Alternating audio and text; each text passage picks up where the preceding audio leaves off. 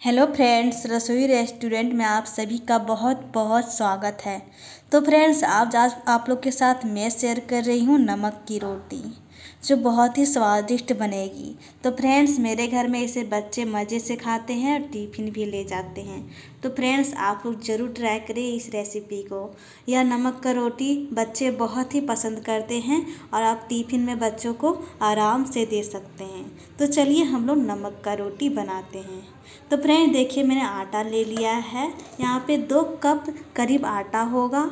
अब आटे में हम थोड़ा नमक डालेंगे। नमक तो फ्रेंड्स, हम आटे में स्वाद अनुसार नमक डालेंगे। स्वाद अनुसार नमक, उसके बाद चार चम्मच भर के इसमें तेल डालेंगे। मोम डालेंगे चार चम्मच भर के। तो आप इस चीज़ को भूलें ना, जब भी आटा नमक का रोटी बनाएँ, आप उसमें तेल डालना ना भूलें। तो फ्रेंड, देखिए, मैंने रिफाइंड ऑयल को चार चम्मच भर के डाल दिया। आप रिफाइंड तेल का ही यूज़ करें।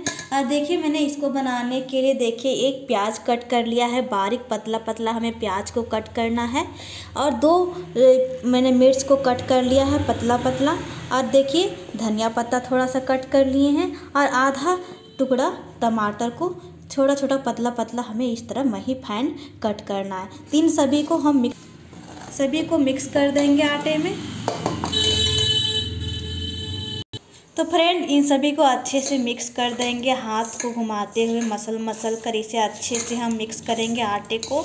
और जो मैंने तेल इसमें डाला था और जो जितने भी मैंने प्याज और टमाटर, मिर्च, धनिया पत्ता डाला था, इन सभी को अच्छे से हम मिक्स करेंगे, हाथ से मसल मसल के अच्छे से हमें मिक्स करना है, ऐसे पूरा उसके बाद इसका सॉफ्ट सा एक डो तैयार करेंगे। सॉफ्ट हमें डो नहीं तैयार करना है। रोटी के जैसा डो नहीं तैयार करना हमें।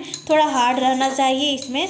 और गीला ना करें आप लोग। थोड़ा थोड़ा पानी दे के इसका अच्छा सा एक डो तैयार करेंगे। तो चलिए फ्रेंड्स इसको अच्छे से मिला लेते हैं हम लोग तब तक। तो फ्रेंड देखिए, मैंने अच्छे से मिक्स कर दिया है। देखिए कितने अच्छे मुट्ठी बंद रहा है। तो हमें इसी तरह अच्छे से मिलाते हुए हाथ को घुमाते हुए अच्छे से मिक्स करना है। अब चलिए इसका अच्छा सा एक डो तैयार करते हैं। थोड़ा थोड़ा पानी डालेंगे ताकि गीला ना हो और एक सॉफ्ट सा डो तैयार करेंगे। ना हार्ड ज़्यादा, ना ही ज़्यादा गीला। ऐसा डो तैयार करेंगे। तो चलिए फ्रेंड थोड़ा थोड़ा पानी देते हैं। ज़्यादा पानी एक बार ना दें। थोड़ा थोड़ा हल्का हल्का दें तभी अच्छा सा डो तैयार होगा। अगर ज़्यादा दीजिएगा तो आपका आटा गीला हो जाएगा तो फिर अच्छा नहीं बनेगा रोटी। तो इस बात का आप लोग ज़रूर ध्यान रखें और इस रेसिपी को ज़रूर ट्राई करें फ्रेंड्स यह बहुत ही टेस्टी बनता है। चलिए तो फ्रेंड देखिए, मैंने अच्छे से आटा को गूँथ लिया है, कितना सॉफ्ट दिख रहा है। तो हमें इसी तरह आटों को, आटा को गूँथना है। और देखिए, मैंने अच्छे से इसे गूँथ लिया है। चलिए, इसका रोटी तैयार करते हैं हम लोग। तो फ्रेंड्स, हमें देखिए इतना बड़ा ये लोई लेना है। आटा से मैंने इतना बड़ा लोई लिया है। और देखिए, इसे न छोट, ज़्यादा बड़ा लेंगे, न छो, ज़्यादा छोटा, मीडियम साइज़ का लेंगे। और देखिए, इसको देखिए, मैंने अच्छे से हाथ से घुमा के गोल कर दिया है। अब इसमें आटा लगाएँगे। तो देखिए, मैंने एक डिब्बा में आटा रख दिया है। और इसे लगा लगा के इसका एक रोटी तैयार करेंगे इसे बेल लेंगे अच्छे से।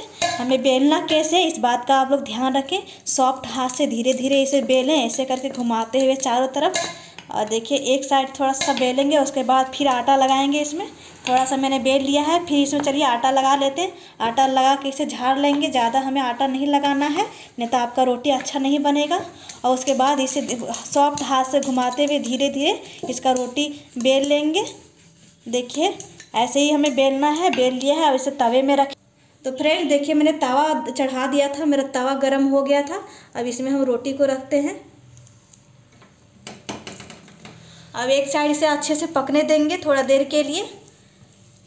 कुछ सेकंड के लिए पकेगा क्या कि मेरा तवा ऑलरेडी गर्म हो गया था। अब इसे पकने में थोड़ा टाइम नहीं लगेगा कुछ भी टाइम नहीं लगेगा वह बहुत ही जल्दी रोटी बनती है फ्रेंड्स देखिए, एक साइड पक गया है, जिस तरह रोटी हम लोग बनाते हैं ना, वैसे ही इसे पलटना है। एक साइड थोड़ा पक गया है, अब दूसरे साइड इसे पकाते, घुमाते हुए एक बार घुमाएँगे, और इसे थोड़ा पकने देंगे। अब इसे थोड़ा पकने देंगे, थोड़ा देर के लिए, उसके बाद उसके बाद इसमें हम आगे का प्रोसेस आप लोग को बताएँगे। तो फ्रेंड देखिए, इधर भी पक गया है। मैंने एक साइड पलट दिया था, दूसरे साइड भी पक गया है, देखिए। अब इसे इधर पलट देते हैं, तीसरे में। और तीसरा तरफ़ पलट देते हैं। और देखिए, उसके बाद हम इसमें तेल डालते हैं, रिफाइन तेल। तो रिफाइन तेल का आप लोग यूज़ करें। रिफाइन तेल से सॉफ्ट बनेगा आपका रोटी और खाने में भी मज़ा आएगा। अब देखिए, थोड़ा पकने देते हैं। और इसे थोड़ा पलट देते, देखते हैं तेल को चारों तरफ़ मिला देते हैं, ऊपर नीचे, दोनों साइड तो एक साइड देखिए तेल मिल गया है, दूसरे साइड देंगे तो एक चम्मच मैंने भर के तेल रखा है रिफाइंड तेल। और इसे हाई फ्लेम में हम पकाना है हाई फ्लेम में ही।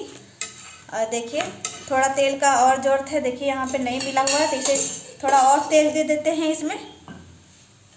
इसे पलटेंगे, दबाते हुए प्रेस करेंगे, करछुल के मदद से। देखिए, इससे ऐसे दबाएँगे, ताकि रोटी अंदर तक पके, आपका कच्चा ना रहे। इस बात का आप लोग ध्यान रखें। अगर आप चाहे तो मीडियम फ्लेम में भी इसे पका सकते हैं धीरे धीरे ताकि आपका रोटी अंदर तक बने। तो फ्रेंड्स देखिए, मेरा रोटी अब तैयार हो गया है। दूसरे साइड भी पलट देते हैं और इसी तरह हम दबाते हुए इसे बनाएँगे। तो फ्रेंड्स इस रेसिपी को आप लोग ज़रूर ट्राई कीजिएगा। इसे आप सॉस के साथ खाइएगा, बहुत ही टेस्टी लगेगा। सेजवान चटनी के साथ आप चाहे रेड चिल्ली सॉस के साथ या तो फिर टोमेटो सॉस के साथ खाइए। यह रोटी बहुत ही स्वादिष्ट बनती है और बहुत ही स्वादिष्ट लगती है। और बच्चे भी इसे टिफ़िन में ले जाते हैं मेरे यहाँ। तो आप लोग ज़रूर ट्राई कीजिएगा इस रेसिपी को।